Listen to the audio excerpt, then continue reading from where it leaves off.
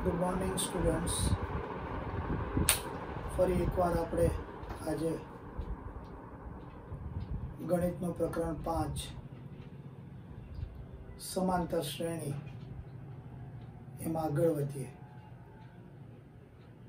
છેલ્લે સાતમા સેશનમાં મેં તમને સમજાવ્યું હતું છેલ્લે કે જો એન આપ્યા હોય તો તો એન બરાબર એક, બે, ત્રણ, ચાર મૂકીને તમે સીધે સીધી સમાંતર શ્રેણી રચી શકો. પણ જો એસએન આપ્યું હોય તેવું ન બને. અને તમને પ્રશ્નમાં માત્ર એસએનનું જ કંઈક સ્વરૂપ આપ્યું હોય. અને તમને પૂછ્યું હોય કે ડી શોધો, કે એ શોધો. તો સૌથી પહેલાં એસએનમાંથી તમારે એ એનમાં જવું પડે. અને ફરી પછી જેવું એ એન આવે, એટલે એન બરાબર એક, બે, ત્રણ મૂકી અને તમે એ કે ડી મેળવી શકો.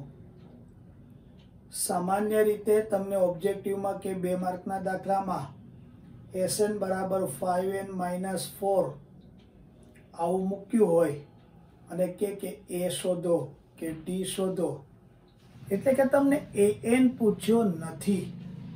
પણ તમે જ્યાં સુધી એ એન નહીં મેળવો ત્યાં સુધી તમે એ કે ડી મેળવી શકવાના નથી. એટલે ઇન્ડાયરેક્ટલી એમણે એ એન પણ તમને પૂછી જ લીધો. આજે આપણે વાત થઈ હતી એ પ્રમાણે એ સૂત્ર આધારિત દાખલો ગણવાનો પ્રયત્ન કરીએ કે એક સમાંતર શ્રેણી માટે એસ એન બરાબર five N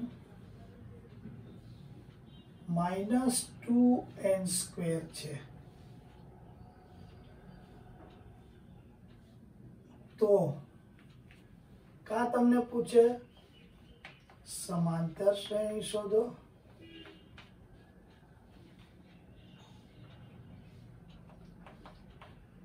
કા પૂછે? એ શોધો. અને કા પૂછે?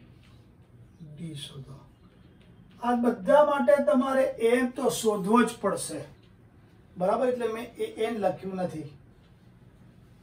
હવે તમે જુઓ કે એસ એન બરાબર five N minus two N square. હવે મેં તમને સૂત્ર કીધું હતું કે એ એન બરાબર S N minus S N minus one એટલે કે એનની જગ્યાએ તમારે એન માઇનસ વન મૂકી દેવાનું આ જ સૂત્રમાં. તો એન માઇનસ વન થયું. બરાબર? ફાઈવ અહીંયા પણ એન માઇનસ વન ટુ અહીંયા પણ એની જગ્યાએ એન માઇનસ વન આખા કૌંસનો વર્ગ. તો ફાઈવ એન માઇનસ ફાઈવ હું આ માઇનસ જ રાખીને કાઉન્સમાં હજી ટુ એમનેમ જ રાખીશ. આ N square minus two N વત્તા એકનું થાય કઈ રીતે? તો એ ઓછા બી આખા કાઉન્સના વર્ગનું વિસ્તરણ કર્યું. તો આ થશે ફાઈવ એન માઇનસ પાંચ ઓછા ટુ એન સ્ક્વેર વત્તા બે દુ ચાર એન ઓછા બે. ફાઈવ એન અને ચાર એન નવ એન ઓછા પાંચ અને ઓછા બે, ઓછા સાત, ઓછા ટુ એન સ્ક્વેર. બરાબર કે નહીં? તો આ તમારું એસ એન માઇનસ વન આવી ગયું. હવે તો તમને ખબર જ છે કે એ એન બરાબર S N minus S N minus one. આ બંને કિંમતો આમાં મૂકી દઈએ. એસ એન છે ફાઈવ એન ઓછા ટુ એન સ્ક્વેર. હું ઓછા કરીને કાઉન્સ કેમ કરું છું? કે નિશાની બદલાઈ જશે. એસ એન માઇનસ વન એટલે નવ એન. ઓછા સાત ઓછા બે N square five N square five N minus two N square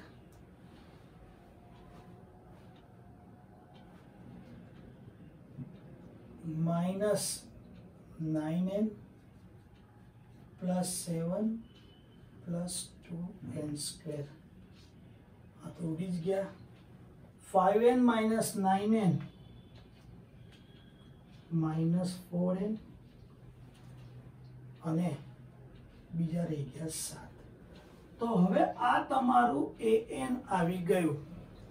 તો જોયું કે એસએન પરથી મેં એસએન માઇનસ વન શોધ્યું.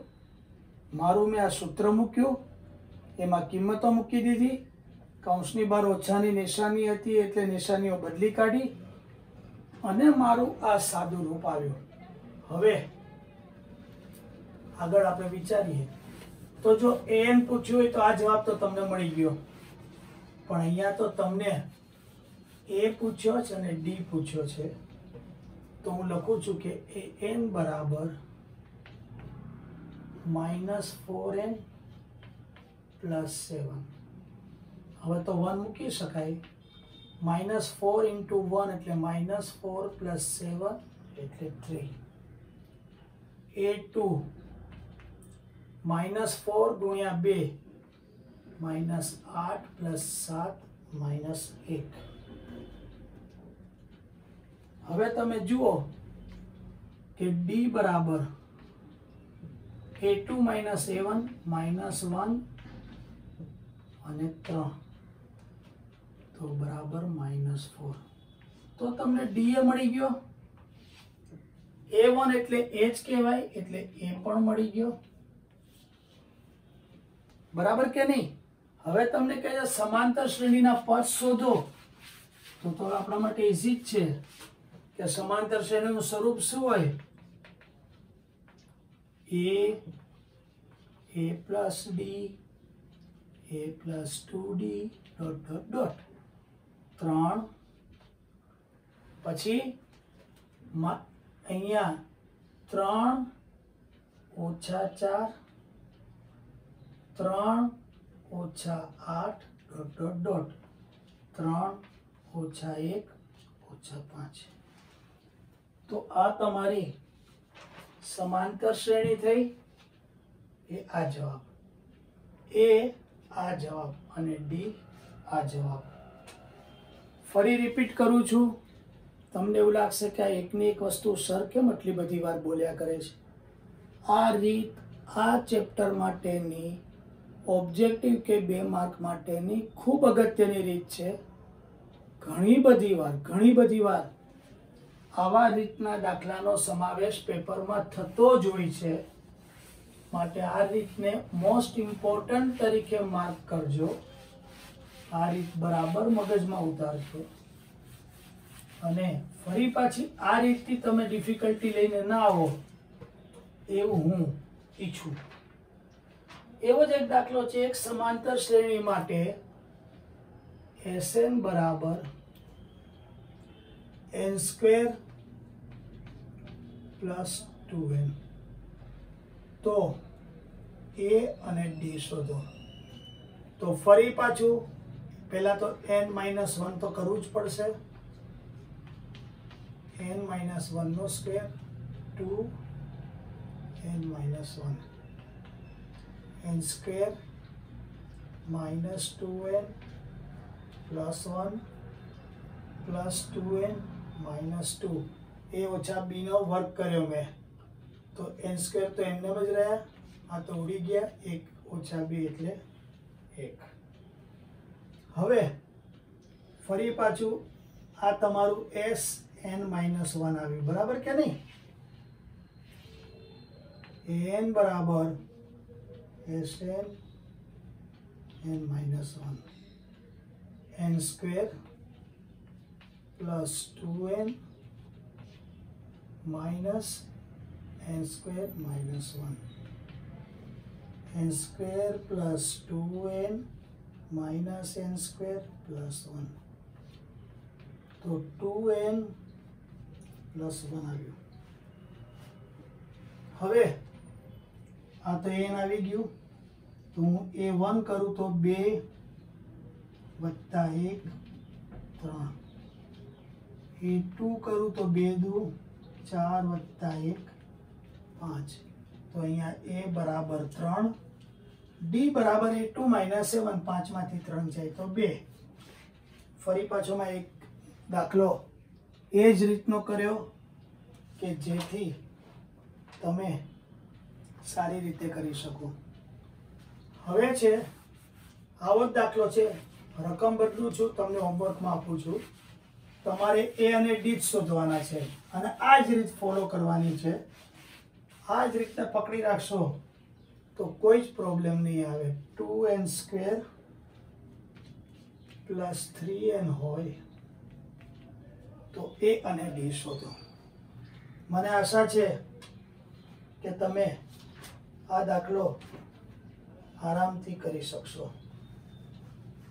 હવે આપણે એક દાખલો પાછા સરવાળાનો કરીએ. કે જેમાં પાછું સરવાળાના સૂત્રનો ઉપયોગ આપણે કરીશું. કે ત્રણ વડે નિશેષ વિભાજ્ય.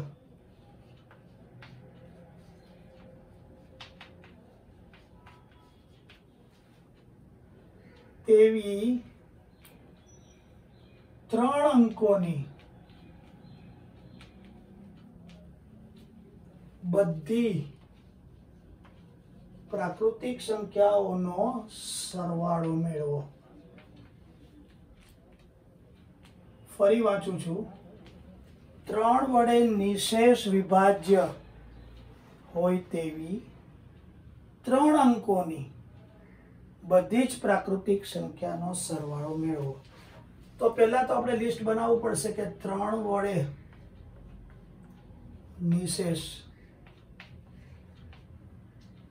બરાબર કે નહીં વિભાજ્ય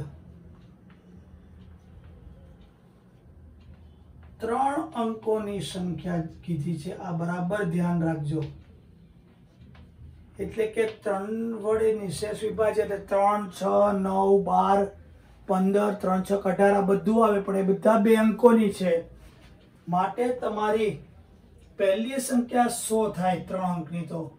પણ ત્રણે ભાગો, ત્રણ તેરી નવ, દસ. ત્રણ તેરી નવ, શેષ વધી એટલે સો નહીં આવે. એકસો એક કરશો, તો ત્રણ તેરી નવ, અગિયાર. ત્રણ તેરી નવ, બે વધશે આઈ નહીં આવે. પણ તમે એકસો બે કરશો ત્રણ તેરી નવ, ત્રણ ચોખ્ખું બાર. ઝીરો આવી ગયો એટલે પહેલી જ સંખ્યા તમારી એકસો બે આવશે. હવે તો ત્રણ વડે કીધી છે ને બધામાં ત્રણ ત્રણ ત્રણ ઉમેરવા માંડો. એકસો બે, એકસો પાંચ, એકસો આઠ. આમ કરતા કરતા ત્રણ અંકની મોટામાં મોટી સંખ્યા નવસો નવ્વાણું. એટલે નવસો ને નવ્વાણું ને ભાગો તો ત્રણ ત્રણ ત્રણ એટલે આ સંખ્યા તમારી આવે છે. તો આ તમારી સમાંતર શ્રેણી બની ગઈ. આમાંથી તમને એ પણ મળી ગયા અને ડી પણ મળી ગયા. બરાબર કે નહીં? તો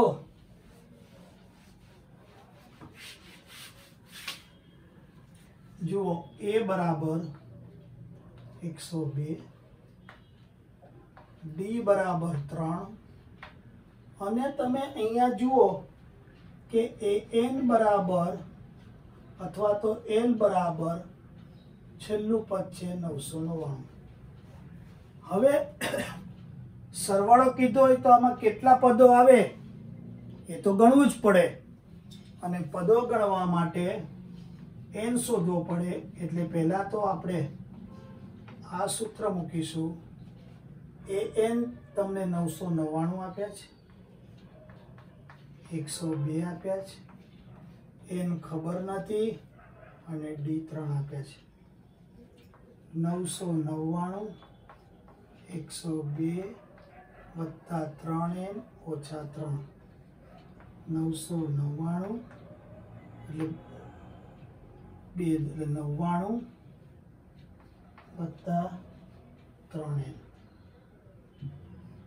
નવસો નવ્વાણું ઓછા નવ્વાણું ત્રણ એન નવસો બરાબર ત્રણ એન નવસો અપોન ત્રણ બરાબર એન. એટલે કે આ સમાંતર શ્રેણીમાં ત્રણસો પદ હશે. કેટલા? ત્યારે તમે નવસો નવ્વાણું એ પહોંચશો તો હવે આપણને એન તો મળી ગયો. હવે તો આપણા માટે. એટલે કે મેં અહીંયા એન બરાબર ત્રણસો મેળવ્યા. આ વિગતમાં આપ્યું નથી, મેં ગણ્યા. હવે આપણું સૂત્ર સમાંતર શ્રેણીના સરવાળાનું. એસ એન બરાબર એન અપોન ટુ છેલ્લું પદ આપ્યું તો આજ ઉપયોગ કરી લો એસ ત્રણસો ત્રણસો અપોન બે. એ એકસો બે એલ નવસો નવ્વાણું. આ એકસો પચાસ થશે. નવસો નવ્વાણુંમાં એકસો બે કરશો એટલે અગિયારસો ને એક થશે. અને આનો જવાબ એક લાખ પાસઠ હજાર એકસો ને પચાસ ગુણાકાર રૂપિયા આવશે. તો એક દાખલો પણ બાકી રહી જતો હતો મેં તમને કરી આપ્યો. બરાબર? ત્યાર પછી એક સરસ દાખલો છે. જે તમારી ચોપડીમાં પણ છે, એ દાખલો ગણીએ છીએ કે જે ખરેખર સરસ છે. થોડો અઘરો પણ છે. અઘરો એટલે સમજવાનું છે, જો સમજો તો પાછું સહેલું થઈ જાય છે. અને આ જ દાખલો તમારી ચોપડીમાં, હું તમને એ પણ કહી દઉં કે સ્વાધ્યાય પાંચ પોઈન્ટ ત્રણ. એનો અઢારમો દાખલો છે. પાંચ પોઈન્ટ ત્રણ દાખલો અઢાર. એ એ જ દાખલો છે, પણ તમારા દાખલામાં ત્રિજ્યા પોઈન્ટ ફાઈવ લીધી છે. હું તમને એક સેન્ટીમીટરની ત્રિજ્યા વડે દાખલો ગણાવીશ કે જેથી તમે સમજી શકો.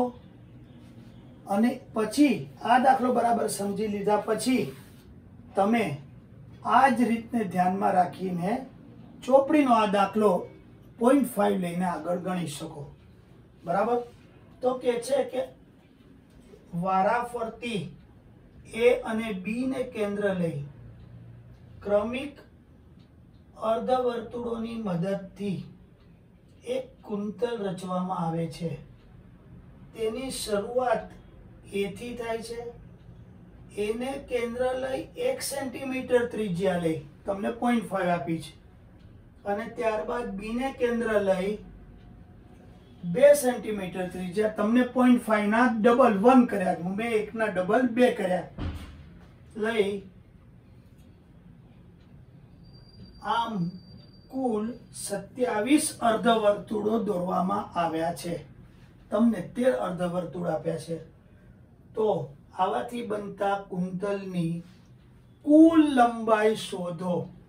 હવે કુલ શબ્દ આવ્યો એટલે માનવાનું કે સમાંતર શ્રેણી માટે આપણો તો સરવાળો જ થયો. પણ શ્રેણી કઈ બને? એ આપણે જોવું પડે. હવે તમે બરાબર ખ્યાલ હશે કે માની લો કે આ વર્તુળ છે. બરાબર છે? હવે આ તમારું કેન્દ્ર હોય તો આ ત્રિજ્યા થઈ. આ વર્તુળનો પરિઘ, એની કુલ લંબાઈ જ થાય એટલે ટુ પાઈ આર. બરાબર? પણ અહીંયા અર્ધવર્તુળ કીધા છે. એટલે અર્ધવર્તુળનો પરિઘ અથવા તો કુલ લંબાઈ આનાથી અડધી થાય, ટુ પાઈ આર અને અડધી. એટલે કે પાઈ આર. એટલે કે આપણે એને કેન્દ્ર લઈને અને બીને કેન્દ્ર લઈને જે કોઈ અર્ધવર્તુળ દોરવાના છીએ, એની કુલ લંબાઈ પાઈ આર જેટલી થશે. બરાબર? આ મગજમાં બરાબર પહેલા રાખજો. તમારા દાખલામાં પણ અંતે આ જ કરવાનું આવશે. હવે તમે જુઓ, આપણે એક કુંતલ જો બને, બરાબર? તો એની લંબાઈ આર બરાબર એક. તો હવે હું ત્રિજ્યા ત્રિજ્યાને આર કહેવાય. એની લંબાઈ, તો તમે જુઓ, એક લઉં, તો પાઈ આર આપણી લંબાઈ છે. કેટલી છે? Pi R. તો એક અહીંયા મૂકું, એટલે પાય થયા. માટે આની કુલ લંબાઈ પાય આવી. જો ત્રિજ્યા બે હોય, તો પાઈ ગુણ્યા બે એટલે ટુ પાઈ. એટલે ટુ પાઈ થઈ. ત્રીજામાં ત્રણ પાઈ. ચોથામાં ચાર પાઈ. આવી રીતે સત્યાવીસમાં કુંતલની લંબાઈ સત્યાવીસ પાઈ થશે. તમારા કેસમાં તેર છે તો તેર થશે. પહેલામાં તમારી પોઈન્ટ ફાઈવ છે તો પોઈન્ટ ફાઈવ પાઈ. બીજામાં પાઈ થશે. ત્રીજામાં એક પોઈન્ટ ફાઈવ પાઈ થશે વગેરે. હવે તમે જુઓ કે આપણી શ્રેણી કઈ બની? પાઈ, ટુ પાઈ, થ્રી પાઈ, અને છેલ્લે સત્યાવીસ પાઈ. બરાબર કે નહીં? તો પછી અહીંયા એ બરાબર પાઈ, ડી ટુ પાઈ માંથી એક પાઈ જાય એટલે પાઈ. બરાબર કે નહીં? અને સત્યાવીસ કુંટલ છે એટલે એન બરાબર સત્યાવીસ. બોલો, બરાબર છે? આમાં કોઈને કઈ ડાઉટ છે? હવે તો આપણી પાસે સૂત્ર છે હું સૂત્ર લખવાનો નથી આ વખત. તમને આવડવું જ જોઈએ. એસ સત્યાવીસ. સત્યાવીસ અપોન બે. ટુ એ એટલે ટુ પાઈ. વત્તા સત્યાવીસ ઓછા એક અને ડી એટલે પાઈ. સત્યાવીસ અપોન બે, ટુ પાઈ, વત્તા છવ્વીસ પાઈ. સત્યાવીસમાંથી એક જાય. એટલે કે સત્યાવીસ અપોન બે ગુણ્યા અઠ્યાવીસ પાઈ. થાય કે ના થાય? બે ચૌદ. એટલે કે સત્યાવીસ ગુણ્યા ચૌદ. હવે પાઈની કિંમત હું અહીંયા મૂકી દઉં છું બાવીસ સત્તમાંશ તો સાત દુ ચૌદ. તો સત્યાવીસ દુ ચોપન ગુણ્યા બાવીસ. અને આ તમારો અગિયારસો ને ઇઠ્યાસી કુંતલની કુલ લંબાઈ આવશે. તમે અહીંયા એક વસ્તુ ઓબ્ઝર્વ કરી હશે. કે મેં પહેલે જ વખતથી પાઈની કિંમત બાવીસ સત્તમાંશ બાવીસ સત્તમાંશ ના મૂકી. નહીતર શું થાત? અહીંયા બાવીસ સત્તમાંશ આવત. બે ગુણ્યા બાવીસ સત્તમાંશ એટલે ચુમ્માલીસ અપોન સાત આવત. તમને એ અને ડી અને સાદુરૂપ આપતા ખૂબ મુશ્કેલી પડત. માટે મેં પાઈ છેક સુધી પકડી રાખ્યા અને જવાબ લાવતી વખતે જ મેં માત્ર ને માત્ર પાઈની કિંમત શોધી. તો તમે હોમવર્કમાં આ દાખલો ગણજો. સરસ દાખલો છે. સેમ પદ્ધતિ છે. જો મારી રીત પકડી રાખશો અને છેલ્લે પાઈની કિંમત મૂકશો, તો તમને આ દાખલામાં કંઈ જ પ્રોબ્લેમ રહેશે નહીં. આ ખરેખર સરસ દાખલો છે. મજા આવે એવો છે. બરાબર? હવે આપણે થોડાક પાછા ચોપડીના દાખલાને ન્યાય આપશું કે જેથી તમને ચોપડીમાં પણ કેવા દાખલા પૂછાય છે એની ખબર પડે. બરાબર કે નહીં? ચલો.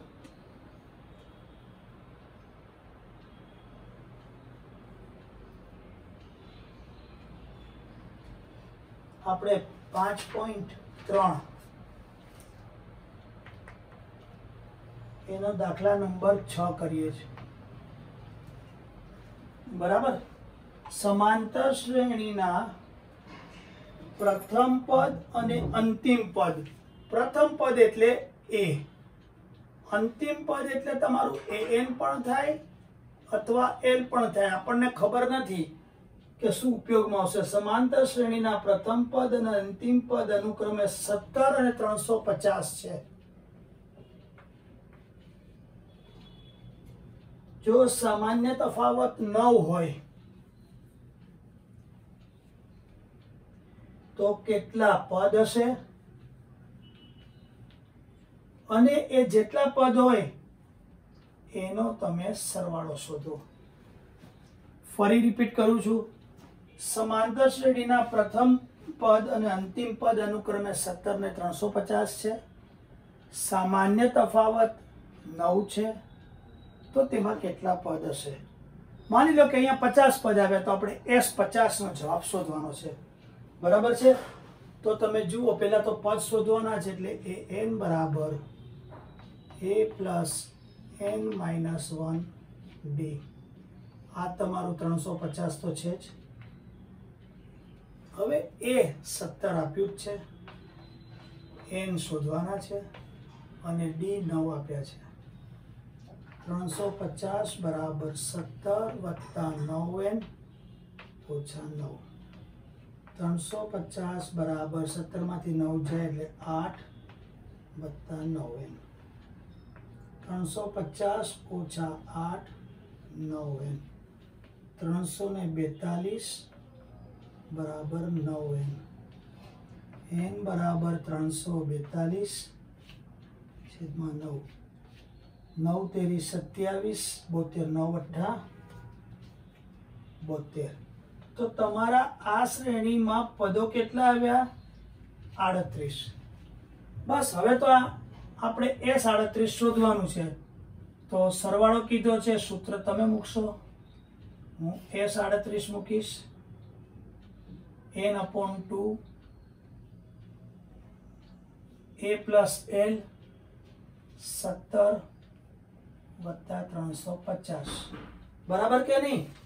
અને આનું જેવું કરશો એટલે ઓગણીસ ગુણ્યા ત્રણસો ને સડસઠ. બરાબર?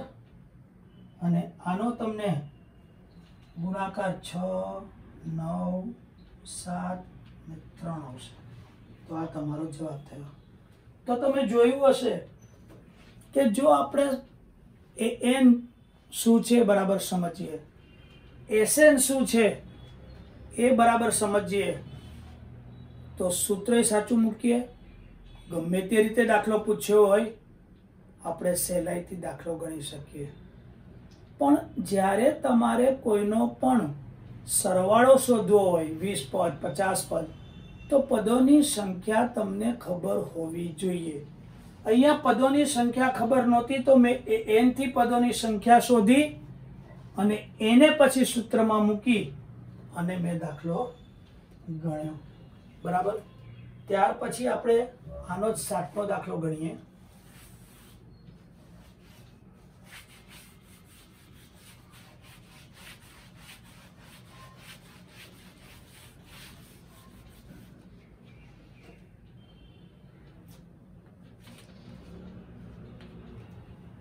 જે સમાંતર શ્રેણીમાં ડી બરાબર સાત, કેટલા કીધા છે?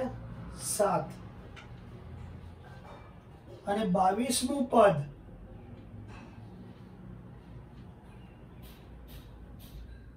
એકસો ને ઓગણપચાસ હોય.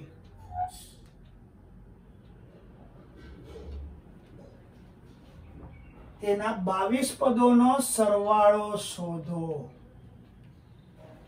બરાબર? તો તમે જુઓ કે સરવાળા માટે એ જોઈએ. ડી છે. તો આને આપણે કોઈ પણ રીતે આપણે શોધવાનો પ્રયત્ન કરીએ કે એ બાવીસ એટલે એ પ્લસ એકવીસ ડી આ આપણે શીખી ગયા છીએ. એ બાવીસ કેટલા આપ્યા છે? એકસો ઓગણપચાસ. એ ખબર નથી. એકવીસ ગુણ્યા સાત સાત એકુ સાત સાત દુ ચૌદ. બરાબર કે નહીં? એટલે કે એકસો ઓગણપચાસ ઓછા એકસો સુડતાલીસ બરાબર એ. એ બરાબર બે. હવે એ બરાબર બી, એ બરાબર બે. તો તમારો આ જે છે એ બાવીસ. એ ખરેખર તો એન પણ થયો અને એલ પણ થયો. તમે એસ એન બરાબર N upon two A plus L. આપણે બાવીસ પદોનો સરવાળો જોઈએ છે. બાવીસ અપોન બે બે વત્તા એકસો ઓગણપચાસ. તો હવે તમને આનું સાદુરૂપ આપતા આવડશે. આનો જવાબ તમને સોળ એકસઠ મળશે. સાદુરૂપ તમે આપી જોજો. એટલે વાંધો નહીં આવે. બરાબર? ત્યાર પછી આપણે આઠમો દાખલો ગણીએ. જો હું બને એટલા દાખલા ગણવાનો પ્રયત્ન કરું છું સમય ભલે વધારે જતો, પણ આપણે કશું છોડવા માંગતા નથી. પણ જે કંઈ હવે તમે કરી શકો એમ છો, જેમ કે અહીંયા મેં સાદુરૂપ તમારા પર છોડી દીધું.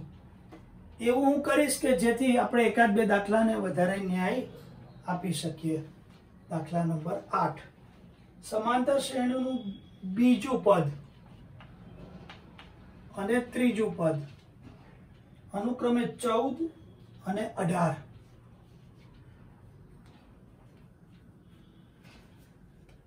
તો પ્રથમ એકાવન પદોનો સરવાળો શોધો.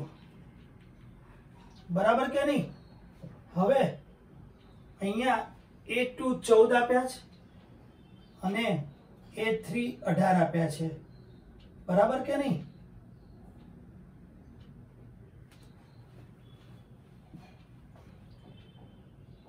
તો સરવાળો શોધવા માટે પહેલું પદ આપ્યું નથી. તો પછી આપણે એ એન બરાબર A plus N minus one D લઈએ. બરાબર? તો એ ટુ બરાબર તમારો એ વન એટલે એ ટુ બરાબર એ પ્લસ તેર ડી આવું કરી શકાય ને? એ જ કરીએ, વધારે સહેલું પડશે. અને આ તમને ચૌદ આપ્યું છે. એ પ્લસ તેર ડી. એ પ્લસ તેર ડી બરાબર ચૌદ. એવું જ એ થ્રી બરાબર અઢાર આપ્યું છે. તો એ થ્રી બરાબર A two plus A plus two D. A two આપ્યું એટલે A plus sorry A plus one D એટલે કે એ પ્લસ ડી બરાબર ચૌદ. હવે અહીંયા કેટલા આપ્યા છે? અઢાર. A plus two D A plus two D બરાબર અઢાર. તો તમે જુઓ કે આ બંને સમીકરણો મળી ગયા. લોકની રીતે કરશો એટલે તમે એ અને ડી મેળવશો. અને પછી તો તમે એકાવન શોધી જ શકો સૂત્ર મૂકીને. બરાબર? અહીંયા તમારે એસએનમાં S N upon two two A plus N minus one D મૂકવા પડશે. નહીં તો તમને દાખલો મળશે નહીં જવાબ. અહીંયા એલ વાળા સૂત્રને ઉપયોગમાં ન લઈ શકાય કારણ કે છેલ્લું પદ આપ્યું નથી. તો તમે જુઓ કે આપણે જે કંઈ આગળ ઉપયોગ કર્યો, એનો જ ઉપયોગ થાય છે. અને આપણે સહેલાઈથી દાખલા ગણી શકીએ છીએ. ત્યાર પછી છે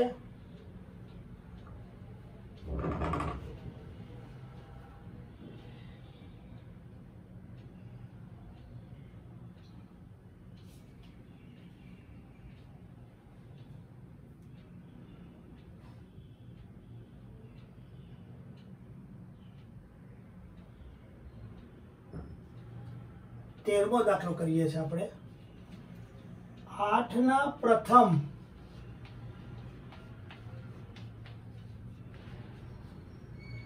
પંદર ગુણિતોનો સરવાળો મેળવો. બરાબર? એટલે કે એસ પંદર મેળવવાના છે. બરાબર? હવે તમે જુઓ કે આઠના પ્રથમ. તો આઠ આઠ દુ, સોળ આઠ તેરી ચોવીસ, બત્રીસ અને પંદર પદ કીધા છે એટલે પંદરે આઠ વીસાસો. તો છેલ્લું પદ તમારું એકસો વીસ થયું. એ બરાબર આઠ થયું. ડી બરાબર એ સોળ ઓછા એટલે આઠ. તમારું એ એમ ગણો કે એલ ગણો એકસો વીસ થયું. હવે તો તમે એસએન બરાબર N upon two A plus એલથી આ દાખલો ગણશો. એટલે તમને જવાબ મળશે. હું સૂત્ર મૂકી આપું છું. બાકીનું કામ તમે કરજો. બરાબર છે? તમારે તો માત્ર એસ પંદર જ કીધું છે. પંદર અપોન બે આઠ વત્તા એકસો વીસ. આગળ દાખલો તમે કરજો. બરાબર કે નહીં? ત્યાર પછી આપણે પંદરમો દાખલો ગણીએ છીએ.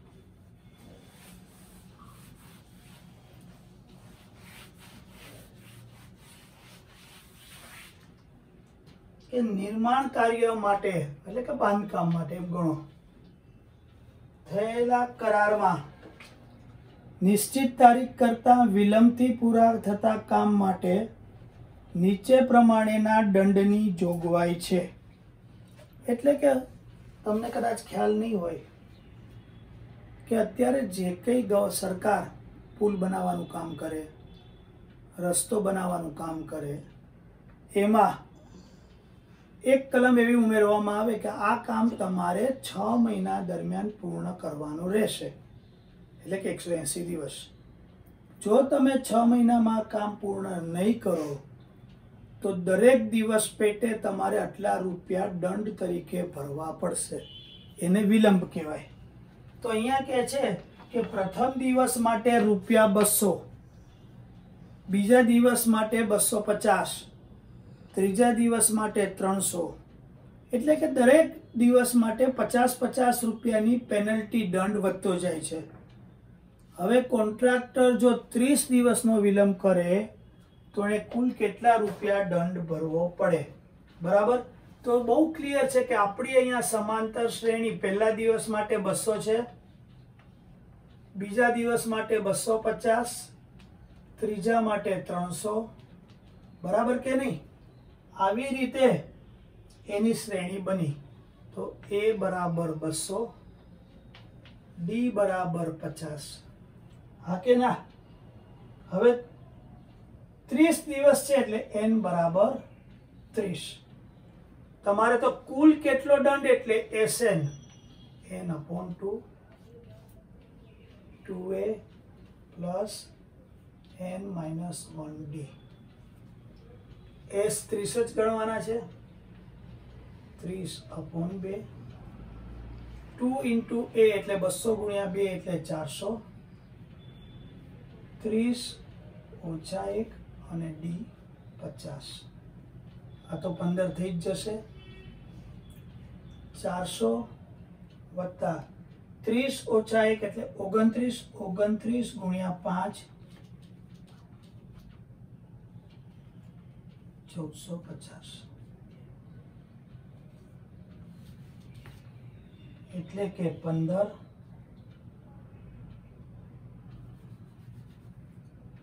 પંદર ગુણ્યા ચૌદ ને ચાર અઢારસો પચાસ. આનો જો કરશો તો સત્યાવીસ સાતસો પચાસ ગુણાકાર આવશે. એટલે કે કોન્ટ્રાક્ટરે જે કંઈ કામ એને સોંપવામાં આવ્યું હતું એમાં એણે ત્રીસ દિવસનો વિલંબ કર્યો અને જે કંઈ કરાર થયો તો એને ધ્યાનમાં રાખીને ગણતરી કરે તો સત્યાવીસ હજાર સાતસો પચાસ રૂપિયા દંડ એણે ભરવો પડે અથવા એને જે કંઈ પેમેન્ટ લેવાનું હોય એમાંથી સરકાર સત્યાવીસ હજાર સાતસો ને પચાસ રૂપિયા કાપી અને એને પેમેન્ટ કરશે. તો તમે જુઓ કે આવી રીતે આપણે જુદા જુદા દાખલા ગણ્યા. હજી આપણે એક સેશન આનું કરીશું અને ત્યાર પછી સંભાવના પૂરું થઈ જશે. એક સેશનમાં આપણે એકાદ બે દાખલા ગણીશું. થોડા હજી ઓબ્જેક્ટિવ કરવા છે. સમાંતર શ્રેણીના ત્રણ ક્રમિક પદો, ચાર ક્રમિક પદો, પાંચ ક્રમિક પદો કઈ રીતે હોય, એને લગતા બહુ જ સરસ બે ત્રણ એમસીક્યુ છે કે ઓબ્જેક્ટિવ છે. નેક્સ્ટ સેશન કે જે આપણું આ પ્રકરણ માટેનું છેલ્લું સેશન હશે, તે આપણે કરીશું. બરાબર? આજે અહીંયા આપણે અટકીએ છીએ. Thank you very much